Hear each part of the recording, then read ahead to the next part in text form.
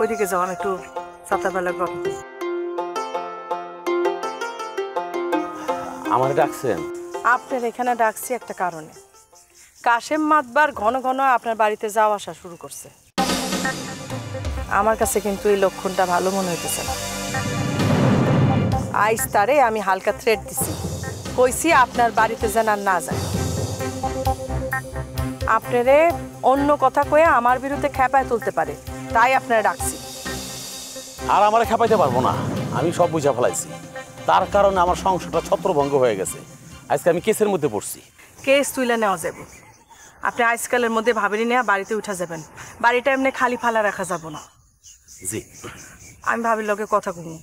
আর আপনি ফোয়ারের খোঁজ নেন। ওরে বাড়িতে আনার চেষ্টা করেন। পরে তো ফোন করছি। তো ফোন ধরে নাই।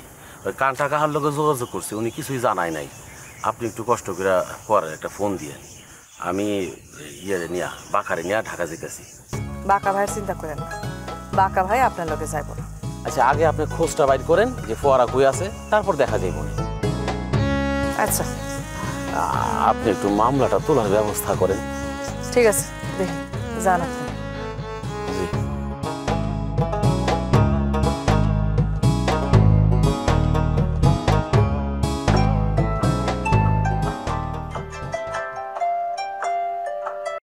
ভাইজান কন। দিবা তুমি কি তোমার ভাবিরে ফোন করছিলে নাকি? হ এটা নিয়ে আপনারে ফোন করতে চাইছিলাম। নানান ঝামেলায় আসলে ভুলে গেছি। পুলিশ আব্বাস বিয়ার খবর জানার লেগা আমার কাছে আইছিলেন। এইটা জানানোর লেগা আমি ভাবিরে ফোন করছিলাম। আর ভাবি আমার লগে এমন ব্যবহার করলেন। শোনো এই দিবা তুমি এক কাজ করো মানে আমি যেটা বলতে যেতেছি তুমি তারে আর ফোন টোন দিও না। তোমার ব্যাপারে একটু ওর অ্যালার্জি আছে বুঝছ? খালি খালি উনি। আচ্ছা বাদ দাও বাদ দাও এই ব্যাপারটা বাদ দাও। তুমি আসো কই এখন.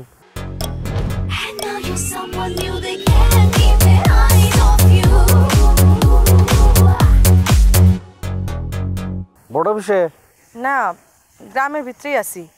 সাত্তার ভাইয়ের বাড়ির উপরে কাশেম মাতবরে নজর পড়ছে। পড়ুক পড়ুক কোনো অসুবিধা নাই।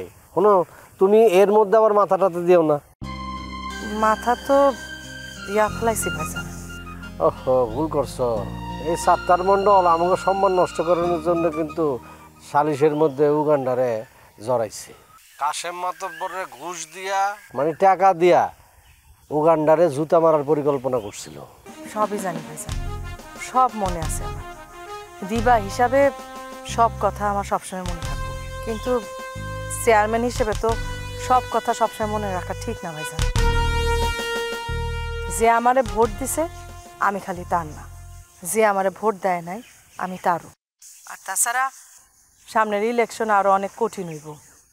আব্বাস বিয়ায় তার পোলারে চেয়ারম্যান পদে খাড়া করাইব।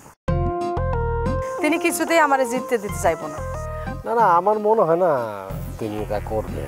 শোনো সালিশে যে তুমি ভূমিকাটা রাখছো এটা তার মনে থাকবে অবশ্যই আমি মনে করি মনে থাকবেই। রাখলেই ভালো আর না রাখলে নাই। আচ্ছা শোনো রাত্রে একটু দেখা করো আর রোদ্রের মধ্যে বেশি ঘোরাঘুরি করো না বুঝছ? হিট স্ট্রোক হয়ে যেতে পারে। বাংলাদেশে কিন্তু অনেকেই হিট স্ট্রোকে মারাও গেছে। স্কুল কলেজ পর্যন্ত বন্ধ করে দিচ্ছে বুঝছ? রিক্সাওয়ালারা যেমনি এই গরমের মধ্যে রিক্সা চালায় সেই কথা ভাবলে আর গরম লাগে না ভাইজান।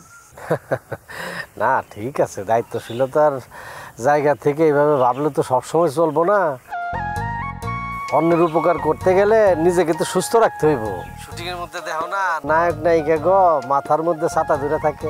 আর যারা ছোটখাটো ক্যারেক্টার করে সাইড ক্যারেক্টার হ্যাঁ গো। মাথায় কিন্তু ছাতা টাতা ধরে না বা ওইভাবে যত্ন নেয় না। এটা বাস্তবতা এটা মানতে। বুঝতে পারছি। আর কোয়া লাগবো না। যার মাথার উপরে গুড্ডি তালুকদার থাকে তার ছাতার দরকার হয় না। আরে কি কইতাছ? তোমার আমার প্রতি কেয়ার দেখা আমার আমার বোনটার কথা ছোট বোনটার কথা মনে হইতাছে। এই যে গেল আর কোনো যোগাযোগ রাখল না। এখন তো তুমি আমার বোন আমি তোমারে আমার নিজের বোনের মতো মনে করি। আমার সবসময় আনন্দের মধ্যে রাখবা। কখনো কষ্ট দিও না বুঝছ? জি। ঠিক আছে রাখি।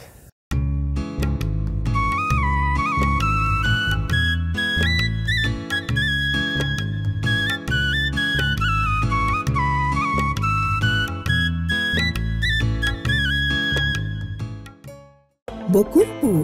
টিভিতে প্রচারিত হওয়ার পূর্বেই সম্পূর্ণ নতুন এপিসোড দেখুন শুধুমাত্র দীপ্ত প্লেতে